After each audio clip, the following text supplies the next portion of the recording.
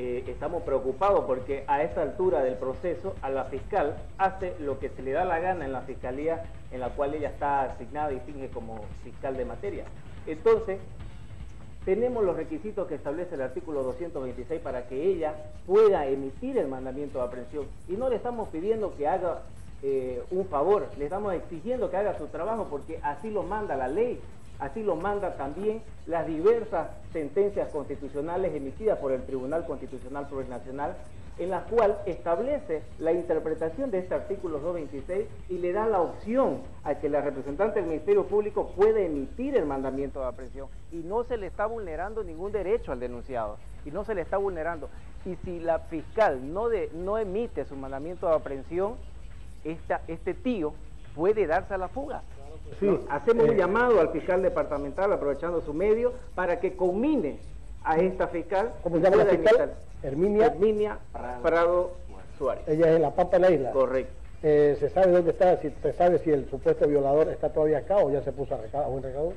Hasta el momento tenemos eh, la información que él está todavía acá, ¿no? Pero no podemos dar su identidad tanto de la víctima ni de los familiares. Se va, se va, a identificar a la menor. Pero sin embargo que quede claro el mensaje de que hay una representante del Ministerio Público inoperante. Y denunciamos ante la opinión pública de que esta justicia nosotros necesitamos que avance, que los procesos eh, se lleven con eficacia, tal cual lo establecen los principios rectores del derecho penal. Perfecto, tenemos la fotografía, eh, gracias por la eh, agilidad, el trabajo, ahí está la fotografía. Ella es la señora fiscal, le hacemos acercamiento, ¿se puede? Vamos por favor, ella ahí dice Herminia Prado Suárez, ella es la fiscal que usted dice inoperante, eh, negligente y oiga, ante un, ante un delito de esa, de esa magnitud, violación, estamos hablando de una violación a una menor, más aún que es pariente, es su tío su tío. Y reiterados hay, hay, agravantes. Exactamente. Y esto viene en muchas oportunidades. Fueron en muchas oportunidades. Y hay un examen psicológico contundente de la niña y que la señora todavía cuando ustedes le piden el mandamiento de aprehensión le dice, se toma en cuenta, ¿qué le dice? Se tiene presente. Se tiene presente. Cuando en realidad la ley le exige de que, que de inmediato, de oficio.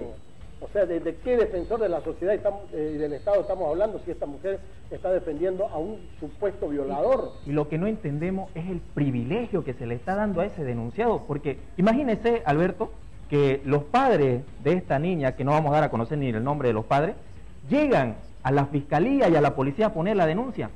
Y como el representante del Ministerio Público es defensor de la sociedad, deberían de haberle extendido al momento los requerimientos exigidos del el tipo? Pero por supuesto. ¿Qué dice? ¿Lo niega todo? No, el tipo no ha declarado. Es que no se requiere la citación. es, directamente, es directamente la aprehensión. Elemento de... Perfecto, muy bien. Yo creo que agradecerle a ambos, doctor Franklin, doctor Vladimir, por la confianza en el programa. Vamos a tratar de mañana, jueves, eh, martes, llegar a la Fiscalía de La Pampa y, por supuesto, buscarlo también al señor fiscal de distrito, que es el fiscal, jefe de todos los, eh, de todos los fiscales para que pueda de repente eh, revisar este, un el cuadernillo, hacer una, hacer una auditoría y conocer las negligencias y los actuados que ha realizado esta fiscal. Muy amable. Gracias. Gracias.